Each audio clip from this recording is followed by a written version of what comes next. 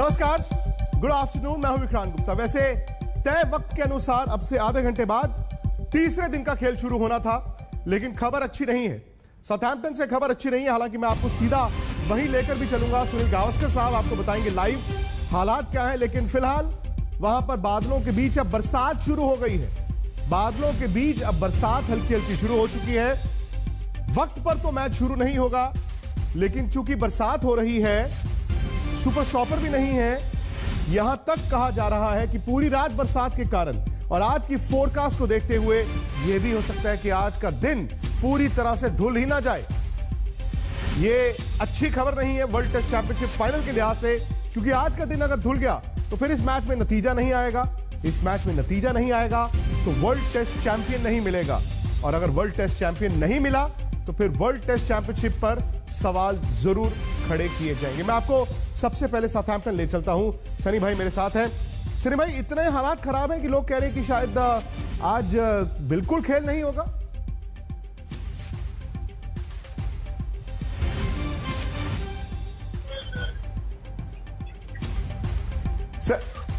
सनी भाई, क्या हालात इतने खराब हैं कि यहाँ तक कहा जा रहा है कि शायद आज खेल ही ना हो?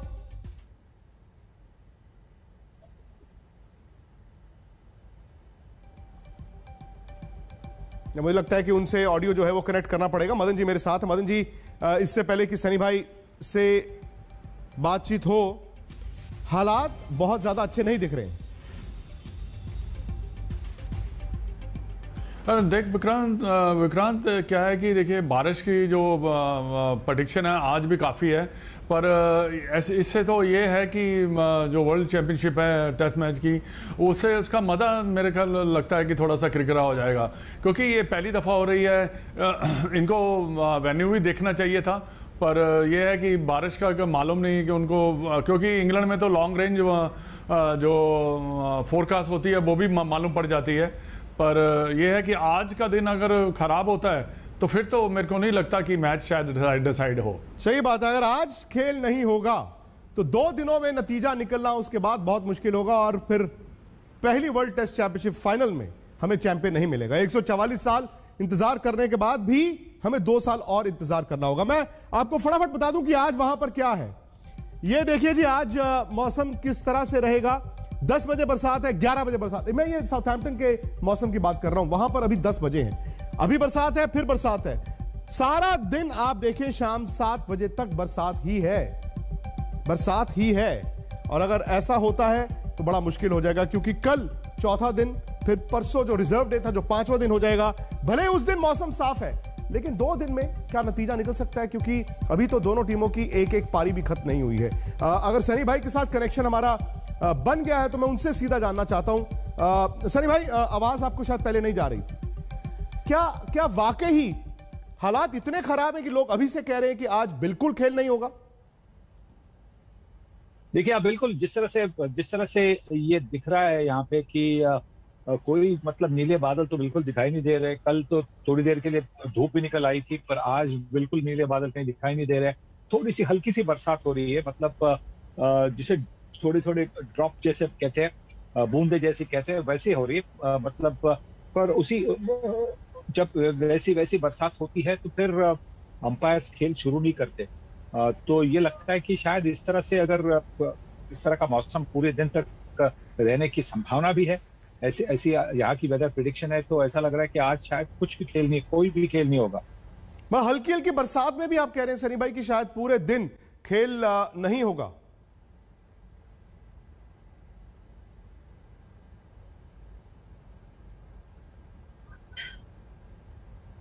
जैसे सनी भाई ने बताया, हल्की बरसात है, तेज बरसात नहीं है। कहते ना, बूंदें हल्की हल्की गिर रही हैं, लेकिन चूँकि ओवरकास्ट बहुत ज़्यादा है, हो सकता है कि सारा दिन इस तरह से रहे, कभी बरसात तेज, कभी कम। यहाँ तक जैसे मैंने कहा, ये कहते ना कि the worst thought world test championship final बरसात। और आज ये भी हो सकता है कि खेल ही ना हो, ये खबर वहाँ से आ रही है। लेकिन अगर खेल होता है तो भारत के सामने एक बहुत मुश्किल चुनौती भी है। आइए देखते हैं कि किस तरह से इस टेस्ट मैच में अब भारत को अगर बने रहना है और वक्त रहेगा तो बॉल अच्छा डालना होगा। पहली पारी में न्यूजीलैंड 101 पर दो। फ़िलहाल 116 रन पीछे है न्यूजीलैंड। जल्दी नहीं निपटा तो खतरा बनेगा न्यूजीलैंड। साउथहैम्पटन में आज दिन भर बारिश के आसार। मौसम ने आज चौथे दिन इजाज़त दी तो गरजना बरसना पड़ेगा भारतीय गेंदबाजों को, क्योंकि न्यूजीलैंड धीरे धीरे ही सही, बड़ा खतरा बनता जा रहा है। पूरे 34 ओवर के इंतज़ार के बाद राहत का ये लम्हा इंडिया के खेमे में आया।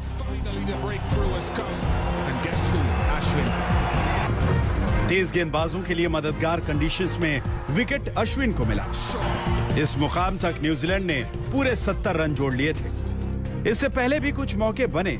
ऊह आह आउट जैसा हुआ बहुत कुछ। लेकिन होकर भी कुछ न हुआ। न्यूजीलैंड के ओपनर्स शुरू में संयम से खेले और आखिरी सत्र में खुल भी गए।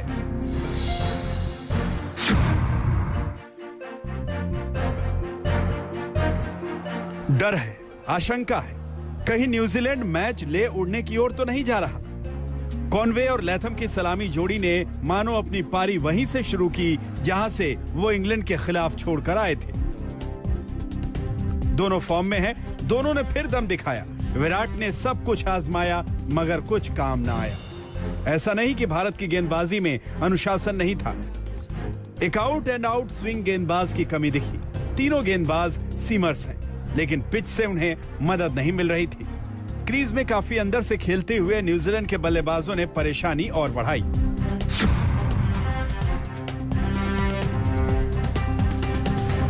अभी तक तो लग यही रहा है कि मैच लो स्कोरिंग वंडर होने वाला है, लेकिन इसके लिए न्यूजीलैंड की पहली पारी को जल्द समेटना होगा। न्यूजीलैंड ने अगर अच्छी बढ़त ले ली तो लेने के देने पड़ सकते हैं। आज तक ब्यूरो। सर, जैसे आपने बताया, बरसात तेज नहीं है लेकिन अगर इसी तरह से रहेगी तो एक टोटल वॉशआउट भी हो सकता है। वॉशआउट का मतलब होगा, इस बार वर्ल्ड टेस्ट चैंपियनशिप का विनर एक नहीं, दो होंगे। ये तो फ्लॉप शो हो जाएगा पूरा का पूरा। जी हाँ देखिए बिल्कुल, अब अब आज का दिन सब लोग कह रहे हैं कि आसपास के सब लोग कह रहे हैं मतलब जो अंग्रेज़ लोग हैं यहाँ पे, जो जानते हैं कि हवा हवामान को मेरी, मेरे से अच्छे जानते हैं, वो कह रहे हैं कि आज तो खेल की कोई संभावना है नहीं। मतलब दो ही दिन बाकी है। दो दिन में तीन इनिंग पूरी होना मुश्किल लग रहा है मुझे। हाँ अगर दोनों टीमों ने एकदम खराब बैटिंग की तो और तीन इनिंग्स कंप्लीट हो सकती है पूरी हो सकती है। तो ऐसा लग रहा है कि ये जो वर्ल्ड चैंपियनशिप फाइनल है वर्ल्ड टेस्ट चैंपियनशिप फाइनल में वो ड्रॉ होगा और ट्रॉफी शेयर हो जाएगी। ये तो पहली बार हुआ है कि आ, फाइनल में कभी किसी ने ट्रॉफी शेयर की है। या तो आप फुटबॉल में देखें फुटबॉल में पेनल्टी शूट आउट होते हैं या कुछ ना कुछ होता है तरीका जिससे आपको एक विनर मिले टेनिस में देखें तो पाँच सेट होते हैं, वो टाई ब्रेकर होता है, सब कुछ होता है, जहाँ से विनर तो आ ही जाता है। तो ये क्रिकेट और टेस्ट क्रिकेट है, का यही एक मतलब हमेशा का एक तरीका रहा है कि टेस्ट क्रिकेट भी टेस्ट मैच भी हमने देखे ड्रॉ हो सकती है। तो ऐसा लग रहा है कि ये मैच भी ड्रॉ होने की ज़्यादा संभावना है और ये वर्ल्ड टेस्ट चैंपियनशिप की जो ट्रॉफी है, वो शेयर हो जाएगी। सर भाई, आपकी आवाज़ पूरी दुनिया में सुनी जाती है। क्रिकेट के हलकों में आपकी आवाज़ सुनी जाती है। सुनील गावस्कर क्या मानते हैं? क्या ये फॉर्मूला सही था कि अगर मैच ड्रॉ हो गया तो दोनों को शेयर करा दें? भाई जैसे काउंटी क्रिकेट में या फ़र्स्ट क्लास क्रिकेट में होता है कि फ़र्स्ट इनिंग की लीड के बेसिस पे किसी को आप विजेता मान लें, या फिर जो लीग में टॉप करके आया उसको विजेता मान लें। आपको लगता है कि कुछ इस तरह का भी किया जाना चाहिए था? आप होते तो आप क्या करते? हैं जी हाँ ये अगर कुछ आप, जिस तरह से आप देख लेते कि हाँ कुछ ना कुछ तरीका होना चाहिए जिससे एक विनर हो। हमने वर्ल्ड कप 2019 का जो वर्ल्ड कप हुआ वो जिस जिस टीम ने ज़्यादा बाउंड्रीज मारी थी वो वो उन, उनको ट्रॉफी मिली। बहुत लोगों ने कहा कि नहीं ये ठीक नहीं था। जिन जिन्होंने कम विकटें ली थी उनको उनको ट्रॉफी नहीं देनी चाहिए थी। जिन्होंने ज़्यादा विकटें ले लिए उनको ट्रॉफी देनी चाहिए थी। ये तो बिल्कुल आप सोचते रहेंगे। और यहाँ यहाँ पे जो क्रिकेट कमेटी है उनको सोच समझकर इस पर निर्णय लेना होता है। देखिए क्योंकि पैंडेमिक की वजह से भी जो परसेंटेज की वजह से जो पॉइंट्स थे, उसके पॉइंट्स के बाद में वो परसेंटेज पॉइंट्स ऐसा कुछ हुआ। तो मतलब गोल पोस्ट जो थे शुरुआत में जब ट्रॉफी वर्ल्ड टेस्ट चैंपियनशिप की बात हुई तो गोल पोस्ट यहाँ पे थे। उसके बाद में आपने गोल पोस्ट यहाँ पे किए यहाँ पे किए। ये तो किसी टीम के लिए फेयर नहीं होता। तो आप ये सब सोच कर कि ये सब कुछ हो सकता है, ये सोच समझकर आपको एक निर्णय लेना चाहिए। कि इस तरह से आप विनर को तय करें। मदन जी अगर आप होते जैसे सनी भाई ने कहा गोल पोस्ट हिलते रहे हिलाते रहे आप होते तो आप कैसे तय करते कि एक विनर क्या है? मुनासिब तरीका क्या होता? देखिए विक्रांत मैं अभी भी बैठा यही सोच रहा था कि क्या करना चाहिए। मेरे विचार में मैच दोबारा शुरू होना चाहिए, अगर पूरा वॉच आउट हो जाता है। क्योंकि डब्ल्यू डब्ल्यू सी टी का जो ये फाइनल है टेस्ट मैच का चैंपियन का, ये कहीं और, जैसे देखिए, ये इसका अगर मैच होता तो या लॉर्ड्स में होता, या कैलकाटा के बिग ग्राउंड में होता, या मेलबर्न में मेलबर्न में होता तो उसका मज़ा ही लगता पर ऐसे डिसाइड करना बड़ा मुश्किल होता है, पर मेरे विचार में आई डोंट नो कि, मैं क्या, यही मैं सोच रहा था कि इसका दोबारा मैच शुरू हो जाना चाहिए। क्योंकि ये चैंपियनशिप है। वो ट्रॉफी उसको मिलनी चाहिए, जो जीते। इसमें ये नहीं है कि उसने ज़्यादा विकेट लिए या उसने ज़्यादा रन बनाए या उसने उसकी एवरेज उसकी, उनकी एवरेज अच्छी है या हमारी अच्छी है। तो ऐसे थोड़ा सा मज़ा थोड़ा सा क्रिकरा होता है बट अगर ये मेरा विचार है कि अगर दोबारा शुरू हो जाए मैं नहीं कहता कि अभी शुरू हो जाए, क्योंकि अभी तो इंडिया ने इंग्लैंड में टेस्ट सीरीज़ खेलनी है। हो सकता है कि एक, अगर इंडिया में वेदर अच्छा है तो इंडिया में क्यों नहीं हो सकता ये, यही यही मैच दोबारा? तो जीत हार से ही ये फैसला होना चाहिए, क्योंकि बहुत बड़ा एक ये टेस्ट चैंपियनशिप है ये। सनी भाई, बहुत लोगों को नहीं मालूम होगा शायद, क्योंकि जो क्रिकेट फैंस हैं वो टी ट्वेंटी कल्चर पे आए या वनडे क्रिकेट पे आए उनको शायद नहीं पता होगा कि पहले जमाने में टाइमलेस टेस्ट भी होते थे। कुल मिलाकर निन्यानवे 99 टेस्ट मैचेस ऐसे हैं क्रिकेट इतिहास में जो टाइमलेस टेस्ट मैच थे। कोई छठे दिन डिसाइड हुआ कोई सातवें दिन हुआ बल्कि दर्शकों को सुनकर हैरानी होगी 1930 में डरबन में एक ऐसा टेस्ट मैच था तो 10 दिन चला और आखिरी दिन शायद इंग्लैंड को 40-42 रन रह गए थे जीतने के लिए लेकिन इंग्लैंड ने खेलने से मना कर दिया। क्यों? क्योंकि उनको सेल करना था उनको जो शिप था उसी दिन सेल कर रहा था। अगर वो शिप मिस कर जाते तो फिर पंद्रह दिन और साउथ अफ्रीका में अटके रहते। क्या मदन जी ने जो बात की है अब मुझे पता है शायद अब कुछ नहीं हो सकता। क्या इसे टाइमलेस टेस्ट के तौर पे देखा जा सकता था कि जब तक नतीजा ना आए, जैसे अभी आज बरसात है, एक दिन और डाल दीजिए। क्या यह हो सकता है? या होना चाहिए था।